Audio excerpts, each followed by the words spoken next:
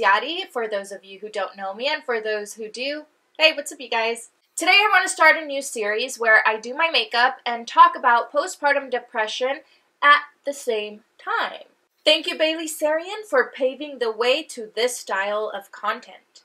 The reason why I wanted to start this series is because as a mother of three going through this quarantine, I I don't know, I've been having really, really bad postpartum depression. When I feel depressed, I just love doing my makeup. Like, my makeup is my me time, even if I'm not going anywhere.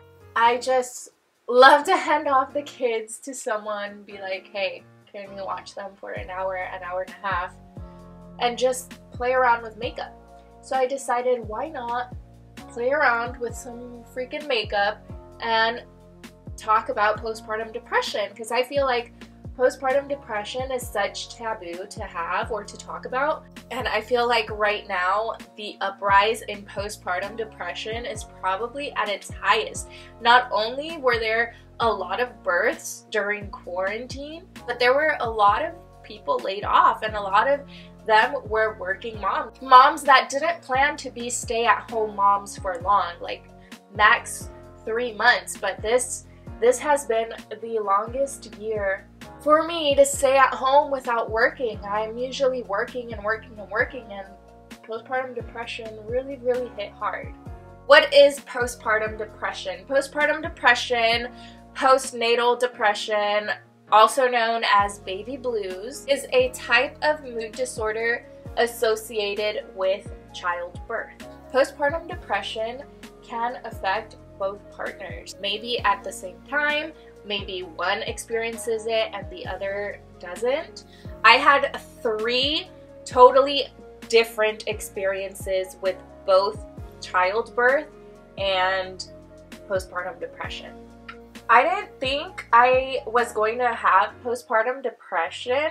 I didn't know what postpartum depression was. I was 19, years old when I got pregnant and I was 20 when I gave birth. So after my daughter was born, I went to my OB and he asked how I felt, like if I had depression, if I had any thoughts of hurting myself or my child. And I told him no I feel over the moon. I'm so excited to be a mom. Like I feel great so he was like, oh my gosh, that's amazing. That's awesome. If you ever do feel you're having thoughts of hurting yourself or your child, please call me, let me know. And I was like, no, I don't have anything like that. Like, I'm very happy. I'm super excited to start this journey.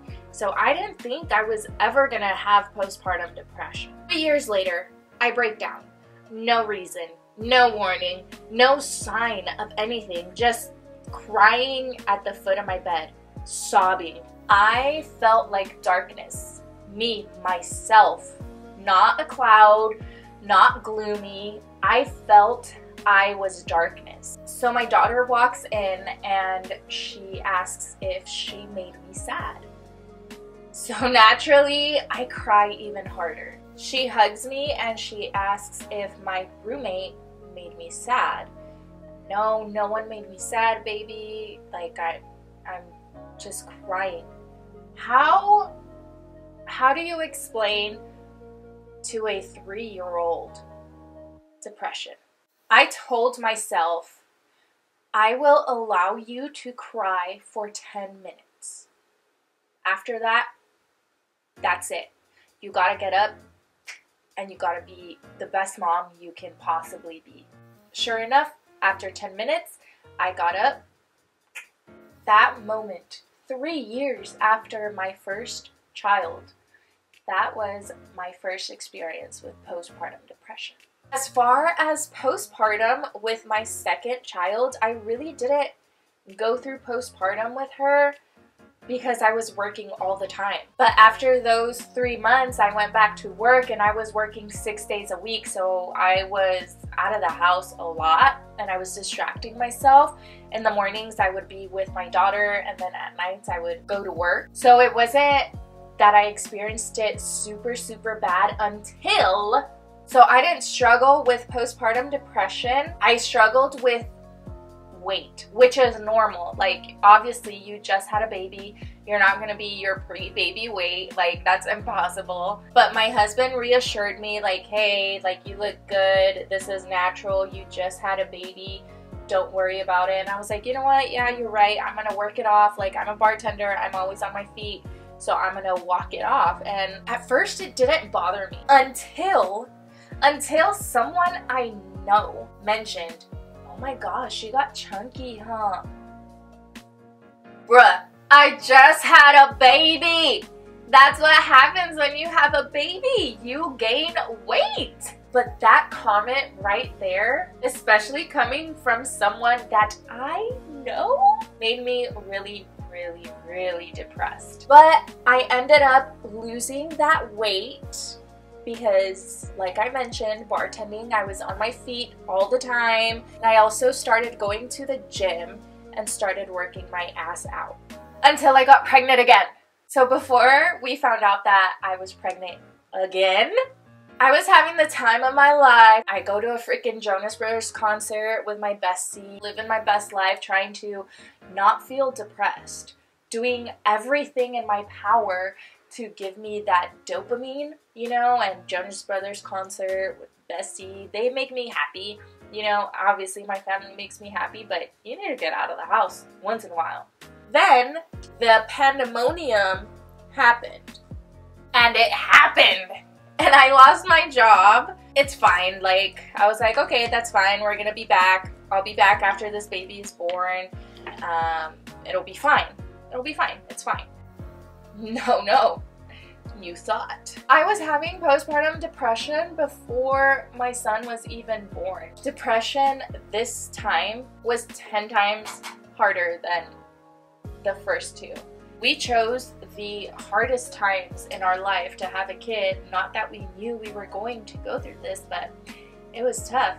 And this time, my depression has been at an all-time high. So not only not being able to go out anywhere, but just finding the motivation to do anything, like to clean your room, to